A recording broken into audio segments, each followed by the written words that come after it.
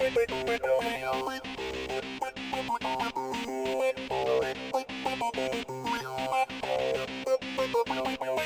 you.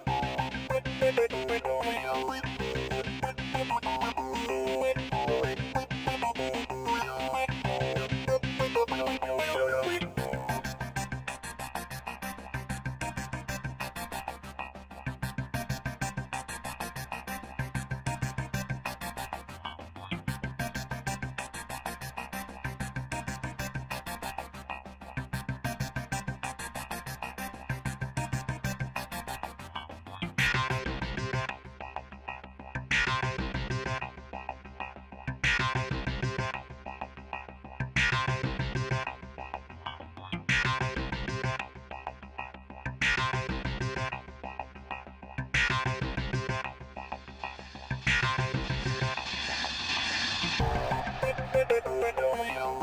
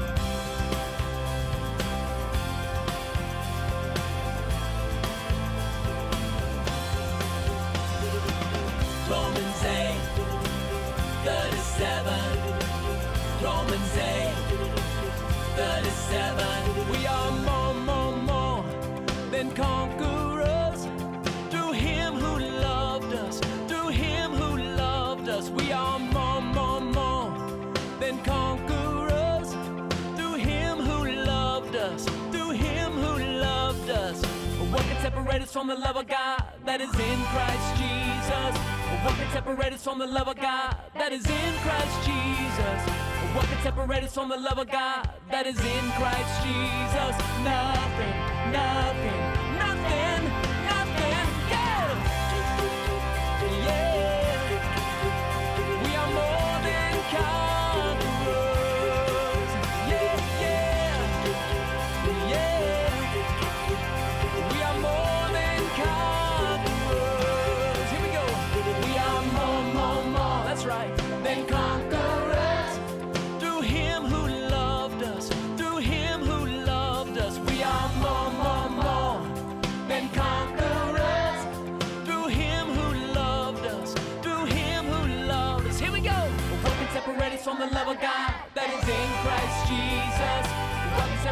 from the love of God that is in Christ Jesus?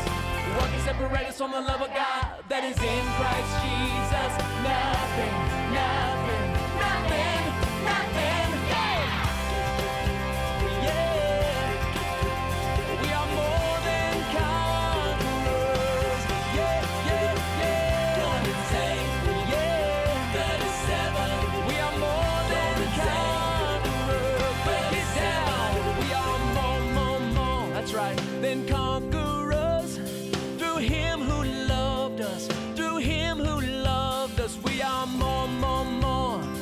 and conquer us through him who loved us, through him who loved us. Here we go! What can separate us from the love of God that is in Christ Jesus? What can separate us from the love of God that is in Christ Jesus? What can separate us from the love of God that is in Christ Jesus? Nothing, nothing.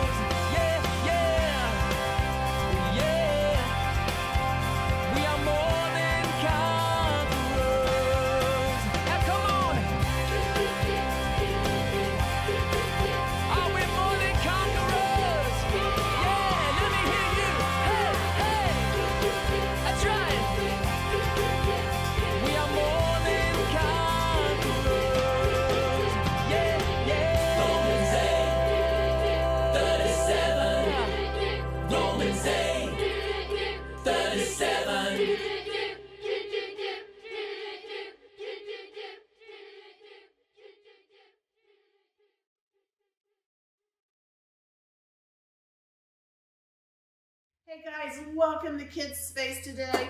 Hope you've been having a fabulous week. And I know some of you got to go to school in person. Yay!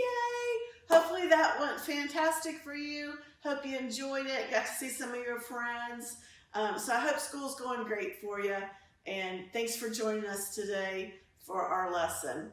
Um, you know, I've got some bananas here today. Who likes bananas? Um, Mr. Wayne eats a banana every morning. He really likes bananas. I eat them some. I love them.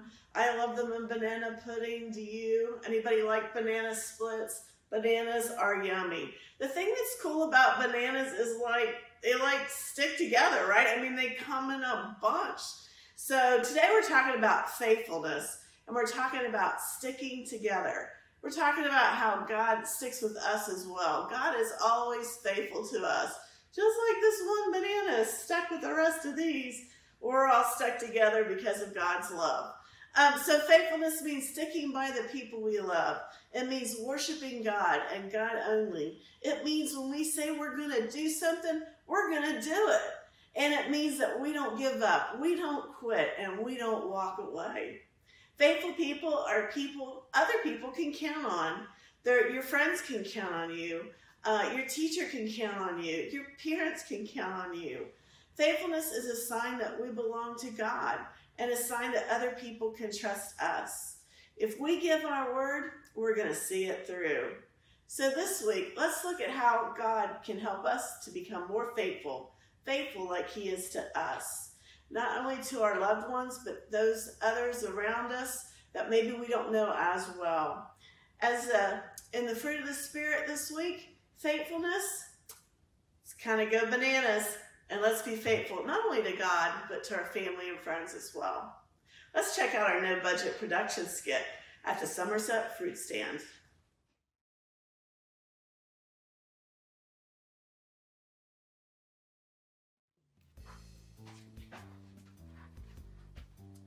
Hello. Um, welcome to Somerset Fruit Stand. Good morning, Jay. Mind if I ask you a question? No!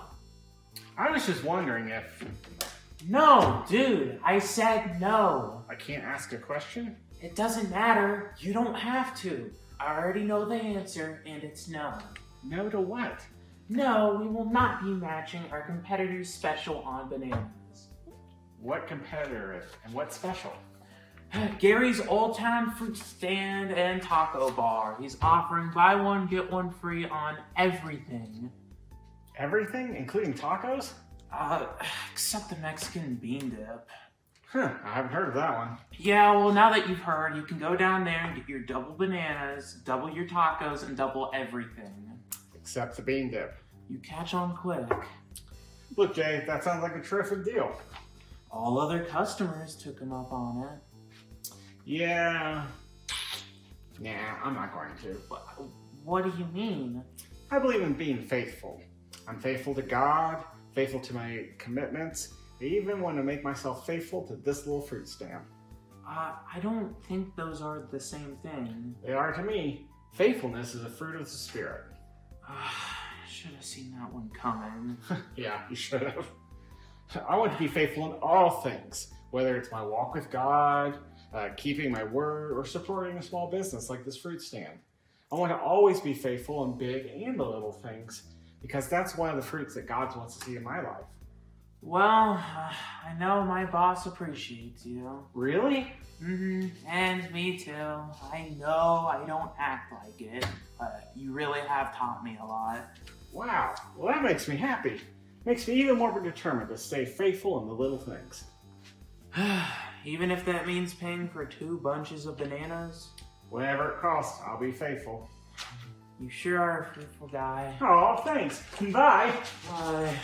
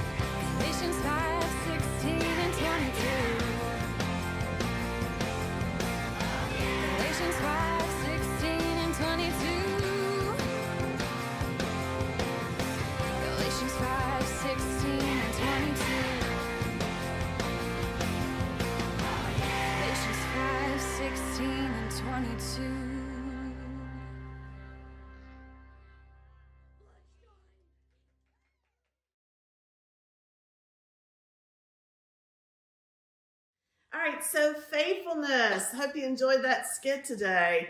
Um, so faithfulness is what God wants from us in our walk with Jesus. He wants us to be people who finish what we start. He wants us to um, commit to whatever we're doing and give everything we got. Whether it's doing a book report at school, he wants us to give everything we got. Whether it's your mom and dad give you a chore, it's doing your very best for them and getting the job done. Whether it's being at youth group and working together on a project as a team, it's everybody working together, being faithful to the to the end result. He wants us to be faithful to him and to choose to do the right thing, even when we might be tempted to do the wrong thing. So to be faithful um, to God and what he asks us to do. So today we're going to talk about David again. Last week we talked about David and we talked about his friendship with Jonathan, King Saul's son. And we saw a faithfulness there in that friendship where they promised each other they would make sure that nothing happened to their kids or their families as they went on um, and, and parted. Um, so God had chose David to be king of Israel when he was just a boy. And if you remember that story, the prophet um, Samuel anointed him with oil. And in the lesson today, in our story today, and remember in the Bible stories, they are true stories. Some stories are fiction or not true, but these are true stories. And so in this one, we're going to see an opportunity where we see David's faithfulness to King Saul, even when King Saul was not treating him very well or fairly. See, David was the man that God had chosen to be the king after Saul. When David was still a boy, the prophet Samuel, as we said, visited him and anointed him with oil as a representation that he is the one that God has chosen. So God chose David to be this king because David was faithful to God. We talked earlier that King Saul had lost his way with God, that he was no longer faithful to God, that he was chasing after other things and other gods. So David lived in a time when men um, would become king, sometimes by killing a king and his family. So it was not uncommon for that to happen in this day and age, um, so that someone would try to steal the throne. David had a men with him, uh, a group of like 400, and they were ready to help him do that. They wanted to kill King Saul. But David did not want that to happen. And he wanted to follow what God's plan was for him. So David showed great faithfulness when he refused to kill King Saul. See, King Saul had been chasing David, and King Saul had like 3,000 men. And they were chasing him through this area, this mountainous area in this desert. And they were trying to kill him. So King Saul was bent on making sure David was destroyed. So David and his band of men, 400, were hiding out and trying to uh, stay clear of Saul and his men. Well, one day, David and his men um, saw Saul and his men coming, and so they went and they hid in a cave for protection. Well, while they were in the cave, Saul entered the cave. And David's men were like, This is your chance. This is your chance to kill King Saul and be the king of Israel. David wouldn't have anything to do with it. Instead, though, while Saul was there, he went and cut off the corner of his robe. Then he stepped back quietly. Saul was totally unaware of David's presence. Saul leaves the cave, and David comes out. And he says to Saul, What have I done to you that you would try to kill me? The Lord is my witness. I, I have in my hand a piece of cloth from your robe where I could have killed you, but I would not hurt the king of Israel, God's anointed. Saul was shocked when he saw that David held the corner of his robe. And he said to David that day, You will be the king of Israel. Your kingdom will be established. And he was humbled and said he was unworthy for what David had done for him, how David had spared his life in the cave. See, David was faithful to do what God wanted to do. He could have followed the ways of his of the men that were with him that wanted him to kill Saul. He had the perfect opportunity to do so. But he chose to do what God would want him to do and wait on God's perfect timing to place him on the throne as the king of Israel. Saul and him made a promise that day that they would not harm each other's families. And David honored that, as we see later on down the road, as we talked about with his son Mephibosheth. So David was faithful first to God and then to the plan that God had put before him. He never wanted to harm Saul, and he never did. He always referred to him as the Lord's anointed. Because of this, David uh, became the king of Israel like God had planned. And he was known um, as a man who followed God's own heart. Um, so David was a wonderful example for us. And we've talked about before how he wrote the book of Psalms, and you should take a look at those sometime, um, especially some of you that are older and that are reading and working on having some quiet time. But um, Psalms is a wonderful collection that helps us see the heart of King David. Well, what about you and me? You know, faithfulness is more than just going to church each, each week. It's more than just singing the songs on the videos. It's more than that. It means choosing to follow Jesus. It means choosing God's way. It means that when we have a group of friends that might be telling us to do this, we know what God's way is and we say, no, we won't do it. It means being honest. It means being truthful. It means following Jesus no matter what. It means following Jesus and doing the right thing when it's hard. Sometimes we're tempted and we're faced with sin. Maybe it's stealing something or lying or cheating or whatever it might be. We might be in a moment where we might be all by ourselves and no one would know, but we're still faithful to God and we choose the right thing because we want to honor God, because we love Him. So faithful, faithfulness means we keep our word. We commit to doing something um, and we see it through. Um, when we say we're going to participate in a project, we do it. We show up and we serve. We commit to doing our part on the project at school. Um, we make time for God's word and for um, spending time in prayer with Him.